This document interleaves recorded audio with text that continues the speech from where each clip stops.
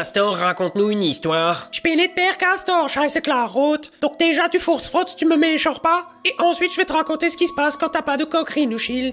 Eh, c'est le Schwarzfreider Il y a jusqu'à moins 60% chez Rhino Shield Nous on veut une coque Et je te code de réduction Le tir, les chiens, le yomol Avec le code ASTRO, on a droit à 10% de réduction sur la commande en plus des réductions du vendredi noir. T'es sûr qu'on est sur le Rhino Shield? On dirait le Titanic. Thor t'as vu la taille de la coque? Gott Tommy, tes grosse chiffre. C'est au moins un iPhone Pro Max tu vois des rayures? Néné, il y a un écran en verre trempé de chez Shield pour le protéger des chocs. Et il existe même une version anti-espion pour pas qu'on voit ce que tu fais. Toi, Chéni Mais non, tu tolles, c'est le fin qui est dessiné sur la coque. Chez Shield, tout est personnalisable, je te rappelle. L'œil Une réduction de 60% Je vais pouvoir m'acheter plein de coques. Dis donc, je trouve qu'il n'y a pas beaucoup de coques pour un bateau Rhino Shield Non, chez Rhino Shield, on a plein de collections. L'œil, on a des une pièce, des Naruto, des guerres des étoiles, des NBA, des jeux de chaises, des attaques des titans et même des NASA pour l'autre. Off-Front Astrono Geek. Mais tu tolles, la NASA ça n'existe pas encore puis on a aussi des coques pour les AirPods et les Apple Ur. En tout, il y a plus de 100 modèles de téléphones. Et même pour les ganzen téléphones comme l'iPhone 14 et le Google Pixel 7. Et où elles sont toutes ces coques? Bien sûr, versteckt. À cause des promos, trop de gens ils s'en foulaient. Celui-là, il me raconte des cracks. Chaque, je crois qu'on n'est pas sur le Rhino Shield, mais sur le Titanic. En cas de choc, on n'est pas protégé. Attends, je vais aller voir. Et tombe pas, t'as pas de coque, tu vas trier? Je prie. Ça fait comme un grip Rhino Shield. Elle te tient fort et tu peux pas la laisser tomber. Et chez Rhino Shield, il y a des grippes pour les petits doigts, des grippes pour les gros doigts, et avec, tu peux même poser ton téléphone pour regarder les vidéos d'Astronogeek. Et ils sont personnalisables comme tout le reste. Fausse moule. Comme ça, je pourrais te mettre sur une coque Rhino Shield personnalisée. Tiens. Oh, faut-tu sécher cul? Ah ben, je t'avais bien dit de pas forcer sur la choucroute. Code fait Tommy. Et chef, il y a un caillou qui va nous rayer. Pas sauf que je fais là. Fais gaffe à ton téléphone. Pas sauf. Hé, monsieur, t'es tombé. Ça va, j'ai un rhino cul. Regarde a des rayures. C'est chips il y a des rayures là, là, là et là. Mais on a une coque Rhinogile Néné, c'est une contrefaçon. Net mais Mais peut-être que c'est la protection d'écran qui est fissurée. Il n'y a pas de protection sur l'écran. C'était des conneries. Allez hop, tout le monde y met sa coque de protection, sinon vous allez avoir des rayures. C'est vraiment le portel pour le Black Friday. Tout le monde il a vu les rayures, alors maintenant ils veulent une coque. Et tu tolles, t'as mis la coque à l'envers. Et frère, viens coque Shield Non merci, j'ai un Nokia 3310. Et vive, vive, vive les gros nichons Chiss, j'ai oublié que le 3310 il est pas waterproof. Et route, on va à la piscine Chac, c'est vraiment pas le moment pour les blagues T'as vu? J'étais c'est écrit Titanic par Rhino Shield si vous non plus vous voulez pas rayer votre téléphone, profitez du Schwarzfried chez Rhino Shield. Ça veut dire vendredi noir. Et comme ça, vous avez jusqu'à 60% de réduction. Et si vous utilisez le code ASTRO ou le lien en description, vous avez encore 10% de réduction en plus sur votre commande. Alors, ne faites pas comme Jacques et Claire Roth et allez vite chez Rhino Shield. Hé Jacques, faut Je me suis mis sur vibreur pour pas te réveiller, mais bon, c'est raté. Moins de 10% chez Rhino Shield avec le code ASTRO. Tout me le dit, on sait jamais, il y en aura peut-être pas pour tout le monde.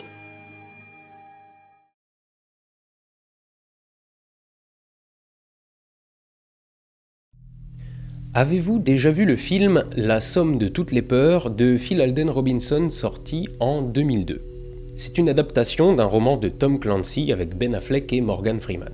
Un groupe terroriste se procure une bombe nucléaire et la fait exploser à Baltimore, aux États-Unis, en espérant provoquer une guerre entre ces derniers et la Russie. La tension monte évidemment très vite entre les deux pays, mais Jack Ryan, un agent de la CIA joué par Ben Affleck qui met à jour le complot, tente d'éviter la guerre nucléaire totale. C'est bien évidemment une œuvre de fiction, quoique vous pourriez y trouver quelques ressemblances avec la géopolitique bien réelle des deux dernières décennies. Néanmoins, je vous invite à y jeter un petit coup d'œil. Au début du film, Israël perd une bombe atomique lorsque l'un de ses avions qui en est armé est abattu. C'est cette bombe que les terroristes vont récupérer. Non mais ça va, hein, jusque-là je vous spoil pas vraiment, en plus euh, le film a 20 ans. On dit pas spoiler, on dit divulgacher. Ouais, et eh ben alors tu sais quoi? D'abord tu prends ton téléphone intelligent, tu trouves le supermarché le plus proche, tu prends ta planche à roulettes pour y aller et tu vas me chercher une boîte de gomme à mâcher. T'es encore là? Ok, c'est bon, t'as qu'à dire spoiler. Bref, une bombe atomique perdue pour l'armée américaine, ça a un nom de code. Broken Arrow. Et devinez quoi? Bah c'est arrivé une paire de fois. Certaines ont été retrouvées et d'autres pas.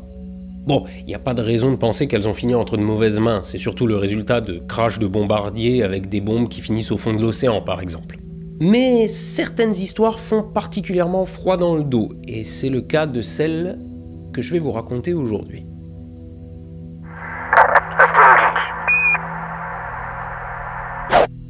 Le 23 janvier 1961, un B-52 décolle de la Seymour Johnson Air Force Base à Goldsboro, en Caroline du Nord, pour un exercice. Il transporte deux bombes thermonucléaires de type Mark 39. Thermonucléaires. C'est-à-dire que ce sont des engins qui se servent d'une explosion nucléaire pour provoquer la fusion d'hydrogène qui dégage encore bien plus d'énergie que les bombes à plutonium ou uranium de première génération. Ce sont des engins pas très sexy qui mesurent environ 90 cm de diamètre et 2,70 m de long pour un poids de presque 3 tonnes. Ce qui n'est pas énorme quand on considère leur pouvoir destructeur, ces engins développant une puissance de 3,8 mégatonnes. Alors en vrai, ça c'est la théorie, mais en fonction de la bombe, de sa variante et des conditions de détonation, on estime leur puissance à entre 2,4 et 3,8 mégatonnes. Bref, il est près de minuit quand le B-52 a rendez-vous avec un tanker pour un ravitaillement en vol. Lors de la manœuvre de raccordement des deux appareils, l'équipage du tanker, qui observe et dirige la manœuvre, constate une fuite sur l'aile droite du B-52 et en avertit le pilote. Le ravitaillement est alors annulé et l'équipage prend contact avec le contrôle au sol qui prend la décision d'envoyer l'avion au-dessus de l'Atlantique pour faire des ronds. Littéralement. Rien d'extraordinaire. Hein. Le truc, c'est que se poser avec une fuite de carburant, c'est comme qui dirait légèrement dangereux. Donc l'appareil est mis en attente au-dessus de l'océan, à proximité de la côte, le temps que ses réservoirs se vident suffisamment pour rendre l'atterrissage moins dangereux. Enfin, disons simplement qu'en cas d'incendie, moins il y a de jus dans les réservoirs, mieux c'est. Seulement voilà, une fois dans son circuit d'attente, le pilote constate qu'en 3 minutes, il vient de s'alléger de 17 tonnes. Ça fait un peu moins de 25 mètres cubes de fuel. On ne sait pas où est la fuite exactement, ni ce qui la provoque, mais une chose est sûre, là, l'avarie vient de brutalement s'aggraver. Devant cette situation, il est immédiatement ordonné au B-52 de revenir se poser à la base. Le pilote amorce sa descente et se met en position d'approche directe. Mais alors qu'il approche les 3 km d'altitude, il ne parvient plus à garder l'appareil stable. Dans un avion de cette taille, et en général dans les appareils civils de bon gabarit aussi, les réservoirs se trouvent dans les ailes. Au total, un B-52 de ce type peut embarquer, tenez-vous bien, plus de 140 tonnes de carburant. Mais les réservoirs ne sont pas forcément intercommunicants et, si par bonheur c'est le cas sur un B-52, ils sont de toute façon pas faits pour transférer des dizaines de mètres cubes par minute. Et donc, ce qui se passe, c'est que notre B-52 s'allège de 17 tonnes toutes les 3 minutes, du côté droit. Et très vite, le pilote a l'impression de voler avec une baleine posée sur l'aile gauche. Alors qu'il perd le contrôle de l'avion, il ordonne à son équipage, constitué au total de 8 personnes, de s'éjecter, ce qu'ils font quand l'appareil approche les 2700 mètres d'altitude. L'un d'entre eux se tuera en arrivant au sol. Le pilote et le copilote, eux, n'auront pas le temps de s'éjecter. L'instant d'après, le B-52 amorce une autorotation, une vrille quoi, et à environ 500 mètres du sol, l'appareil cède sous les contraintes structurelles, il se rompt, et les deux hommes périront dans le crash. Et, alors que l'appareil se disloque, les deux bombes thermonucléaires tombent de la soute. Les débris de l'appareil couvrent une zone d'un peu plus de 5 km de champs de coton et de tabac à proximité de la petite ville de Faro, à 19 km au nord de la base aérienne. Une équipe de militaires est rapidement dépêchée sur les lieux afin de sécuriser la zone et euh, de récupérer leurs jouets nucléaires. Mais un crash de B-52, ça passe pas exactement inaperçu et l'info devient vite publique. L'accident est d'abord présenté comme un simple crash, mais quelques années plus tard, l'information que l'avion transportait des bombes nucléaires ayant fuité, le Pentagone affirmera, en 1981, que les bombes n'étaient, je cite, pas armées et ne pouvaient donc pas exploser. En vrai, ça veut pas dire grand chose. Une bombe nucléaire pas armée, ça veut déjà au moins dire que son dispositif de détonation n'est pas monté. Or, non seulement là c'était le cas, mais vous allez voir que c'était même bien pire que ça. En 2008, deux journalistes américains publient un ouvrage sur les cas de Broken Arrow et citent en détail ce cas. Et en 2013, Jack Rivel témoigne en parallèle d'une demande de déclassification de documents top secrets concernant cet accident. Et c'est là qu'on a appris ce qui s'est réellement passé. En 1961, Jack Rivel est lieutenant de l'armée américaine et surtout démineur spécialisé dans les armes nucléaires. Euh, J'ose pas imaginer la gueule de ton assurance professionnelle quand tu fais staff. Bref, au petit matin, il est appelé en urgence avec d'autres militaires sur le site du crash afin de récupérer et sécuriser les deux bombes. La première, en tombant du B-52 en vrille, a fait un plongeon qui l'a amené à percuter le sol à près de 310 mètres par seconde. C'est beaucoup. Surtout considérant que 30 mètres secondes de plus suffisent à passer le mur du son. Elle finit sa course dans un champ boueux. Tellement boueux qu'elle va entrer dans le sol. Petit aparté, donc, quand vous voyez un mec dans un film manipuler une bombe atomique en craignant que le moindre choc ne la fasse péter. euh, non. Bref, percuter le sol n'a pas laissé la bombe intacte. Mais l'impact n'a pas déclenché l'explosion de ces charges conventionnelles. En très gros, une bombe A, ce sont des explosifs conventionnels, c'est-à-dire non nucléaires comme le TNT, qui, par leur explosion, compriment de l'uranium ou du plutonium jusqu'à les faire atteindre une masse critique et déclencher la réaction en chaîne qui mène à l'explosion nucléaire.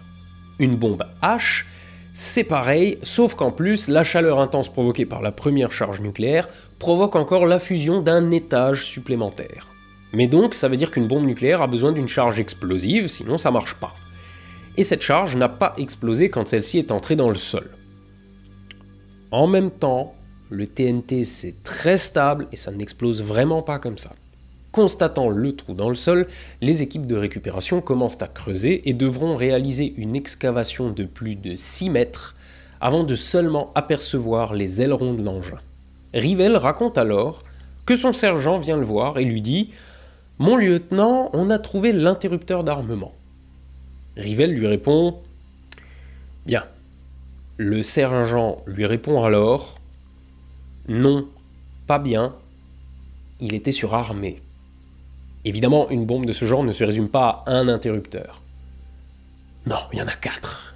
En fait, quatre systèmes doivent être mis successivement en route pour permettre la détonation, et ultimement, un déclencheur à haute tension finit le boulot. Mais celui-ci doit être programmé soit pour péter à une altitude définie, soit suite à la réception d'un signal de détonation. Et sur cette bombe, cette sûreté a fait son boulot. En effet, on ne fait pas péter les bombes nucléaires à l'impact. Il est plus intéressant de les faire exploser en l'air pour que le souffle passe au-delà du relief, faisant ainsi plus de dégâts.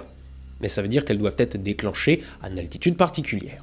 Mais cette bombe n'a pas été programmée en amont pour péter à une certaine altitude, vu que celle-ci est déterminée en fonction de la cible qu'on lui destine. Et elle n'avait pas de cible, vu qu'il n'était pas prévu de la larguer.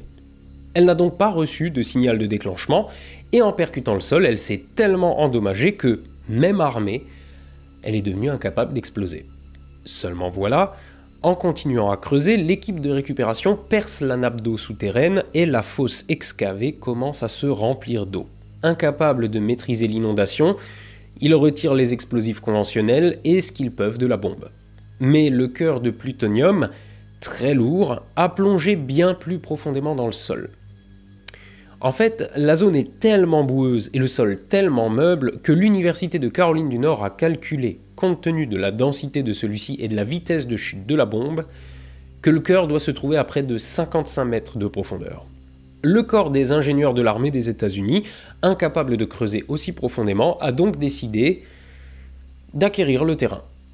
Ils ont acheté une zone circulaire de 120 mètres de diamètre centrée sur la zone d'impact. Cette zone est parfaitement visible sur Google Earth. C'est un bosquet d'arbres au milieu d'un champ. Et enterré là-dessous se trouve toujours le cœur de plutonium et d'uranium. Mais n'imaginez pas prendre une pelle la nuit et aller le chercher. hein. Déjà, si le corps du génie de l'armée américaine n'y est pas arrivé, comptez pas dessus. Et ensuite, m'est avis que même à deux plombes du mat habillées en noir, si vous vous approchez de l'endroit avec une pelle, on va vous tomber dessus avant que vous ayez le temps d'inventer une excuse pour faire du jardinage en pleine nuit. L'autre bombe, elle, a été retrouvée dans un arbre accrochée à son parachute. Et ça, bah, contrairement à ce que votre instinct pourrait éventuellement vous dicter, bah c'est pas bon signe. Du tout. En effet, cette bombe-là, en tombant de l'avion, a été activée. Et dans le processus de détonation, plusieurs dispositifs se mettent en route, dont des condensateurs à haute tension pour faire exploser les charges conventionnelles et l'ouverture automatique d'un parachute de 30 mètres qui doit suffisamment freiner la bombe pour laisser le temps au bombardier de déguerpir. Quand Jack Rivel s'est attelé à la tâche de la désamorcer, il a pu constater que le switch d'armement était resté sur désarmé. Oui. Mais c'est tout. Cet interrupteur d'armement était la seule sécurité encore en place. Tout le reste de la bombe s'était mis en route, prêt à vitrifier la zone. C'est notamment pour ça que le parachute s'est ouvert. Je vous laisse juste un instant pour y penser. La Caroline du Nord est passée à côté d'une explosion nucléaire accidentelle grâce, je cite, à un simple interrupteur à faible voltage. Un interrupteur qui en plus avait été accidentellement passé sur armée sur l'autre bombe. Alors en gros, celle qui était armée a été détruite avant de pouvoir péter, et celle qui pouvait péter n'a pas été armée grâce à un seul interrupteur. Alors, nuançons tout de même cette histoire. Lors de son éjection accidentelle de l'avion, l'unité chargée de contrôler la décharge électrique mettant le feu aux charges conventionnelles a été endommagée. Donc elle aurait peut-être pu ne pas fonctionner. Ensuite, dans ce type de bombe, on trouve une petite charge de combustible qui doit fusionner et qui sert à doper la fission du premier étage pour que celle-ci soit suffisamment importante pour entamer la fusion du second étage qui, lui, doit faire le gros du boulot lors de l'explosion. Or, cette charge n'avait pas été injectée dans le premier étage non plus, ce qui aurait provoqué, si elle avait pété, une explosion nucléaire, mais pas assez puissante pour déclencher la fusion du second étage, qui aurait juste été vaporisée, résultant dans une explosion de quelques dizaines de kilotonnes seulement. Alors pour rappel, une kilotonne fait référence à l'énergie libérée par 1000 tonnes de TNT. Une mégatonne fait référence à un million de tonnes de TNT. Les Mark 39 avaient une puissance théorique de 3,8 mégatonnes, quoiqu'en fonction de leur configuration, celle-ci pouvait n'être que de 2,4 mégatonnes. Or, c'était justement la puissance théorique de ces deux-là. Si je précise ça, c'est parce que si vous retirez la virgule à 2,4, ça fait 24. 24 mégatonnes, c'est la moitié de la puissance de la Tsar Bomba, la plus puissante arme jamais détonée. 24 mégatonnes, ça suffit pour ratiboiser un bon morceau de la Caroline du Nord, là où l'histoire se passe. 24 mégatonnes, c'est aussi et surtout la puissance annoncée pour ces bombes par Greenpeace quand ils ont communiqué sur cet accident. Et c'est le chiffre que vous pouvez encore voir passer par-ci par-là si vous entendez parler de cette histoire. Vous pouvez notamment entendre dire que si les bombes avaient pété, tout l'État aurait été rasé. Il semblerait que cette erreur vienne de la lecture erronée par Greenpeace d'un vieux rapport tapé à la machine à écrire où une virgule aurait été effacée ou peu visible. Mais j'insiste un peu sur ce détail parce que mon opinion personnelle sur cette organisation, c'est qu'elle est passée d'une lutte légitime contre les armes nucléaires à un combat stupide contre le nucléaire civil, et je déteste personnellement, la manière qu'ont les mecs de déformer la réalité pour servir leurs intérêts. Et en faisant des recherches sur le sujet, j'ai eu la nette impression que ça les dérangeait pas trop de se servir de ce chiffre erroné, même en sachant qu'il l'est, parce que ça va dans le sens de l'histoire catastrophique. Et je trouve cette histoire suffisamment flippante pour pas avoir besoin d'en rajouter. Voilà, ça c'était le petit point avis personnel. Mais non, cet accident n'a pas failli laisser un trou fumant à la place de la Caroline du Nord. La Tsar Bomba, par exemple, aurait fait un gros trou, 24 mégatonnes aussi, 4 mégatonnes auraient tué moins de 10 000 personnes dans cette zone pas super peuplée, et une bombe de 2,4 mégatonnes pétant au sol aurait sûrement fait encore moins que ça. Mais dans les faits, on parle en plus uniquement de l'explosion du premier étage de la bombe dont la puissance est encore largement inférieure. Au fait, vous connaissez NukeMap Allez voir NukeMap, c'est rigolo. Bref, ça aurait fait un gros trou, beaucoup de morts, mais je crois qu'une explosion nucléaire dans une zone habitée, quelle qu'elle soit, est de toute façon largement assez terrifiante pour ne pas avoir besoin de fantasmer l'annihilation de tout un État. Suite à cet accident, les Mark 39 ont été jugées bien trop dangereuses pour un déploiement aéroporté et ont été modifiées en conséquence. Il en a été de même de la structure des B-52. Cinq ans plus tard, les Mark 39 ont été retirées du service. Mais ça ne nous empêche pas de nous demander et si ce switch avait été activé? Si la charge dopante avait été injectée dans le premier étage? Et si la bombe avait pété, détruisant au passage tous les témoins de l'accident qui auraient pu expliquer que c'en était un, quelle aurait été la réaction des États-Unis? Aurait-il cru à une attaque soviétique?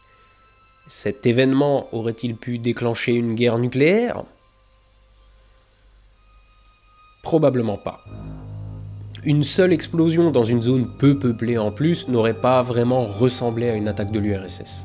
Mais ça, c'est donc ce qu'on appelle une broken arrow. C'est quand une bombe nucléaire est perdue ou larguée accidentellement, mais sans que cela implique le risque de déclencher une guerre. Mais il y a aussi les cas où échapper une bombe, ou croire qu'on est en train de s'en prendre une sur le coin de la gueule, peut mener au déclenchement d'une guerre nucléaire. Ça, c'est ce qu'on appelle les close calls. Alors, broken arrow, c'est une flèche cassée, mais close call, c'est un peu chiant à traduire, donc disons simplement qu'un close call, c'est ça. Un close call, c'est quand on passe très, très, très près de la catastrophe.